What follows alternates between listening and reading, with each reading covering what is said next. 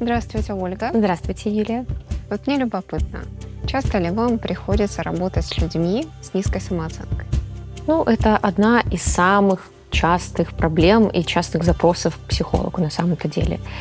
Э, да, да, как среди детей, подростков, так среди мужчин и женщин. Скажите, пожалуйста, вот как с этим работать? Вообще тема повышения самооценки не на э, короткую дорогу, да. В терапии э, людям приходится поработать с собой, психологу, для того, чтобы вывести ее на адекватный уровень. Не на высокий, а на адекватный.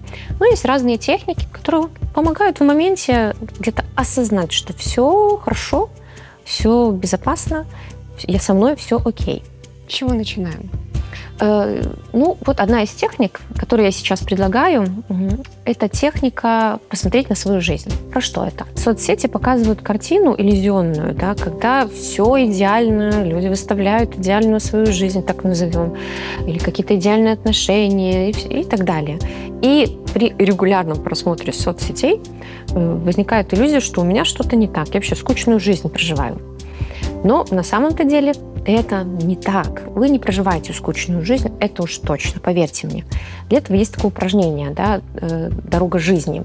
Я предлагаю написать настоящую такую дорогу, нарисовать. От с того момента, когда человек помнит вообще каких-то событий своей жизни. И написать все-все-все, что с ним происходило, то, что для него было значимо.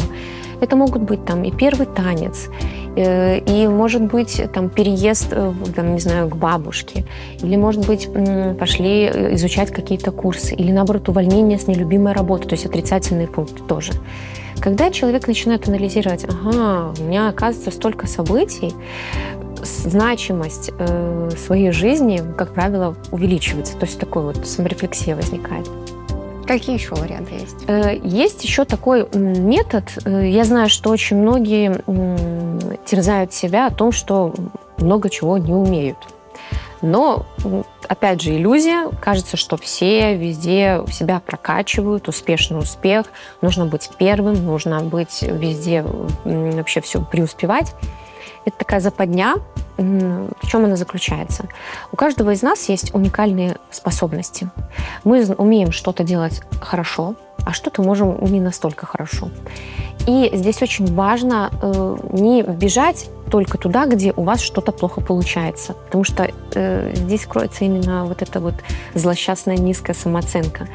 Э, а делать фокус внимания на своих положительных качествах. Вы будете себя чувствовать намного увереннее, если же будете бросаться туда, где у вас ну, не так хорошо получается.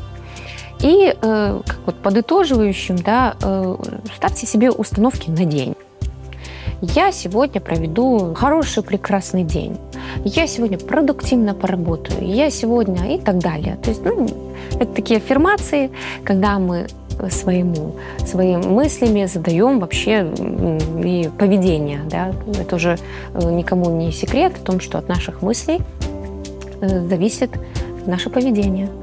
Положительные установки, э, такой, скажем, заряд эмоций с самого начала дня, я думаю, что вам поможет и для самооценки также. Обязательно. Благодарю, Ольга. Благодарю, Юлия.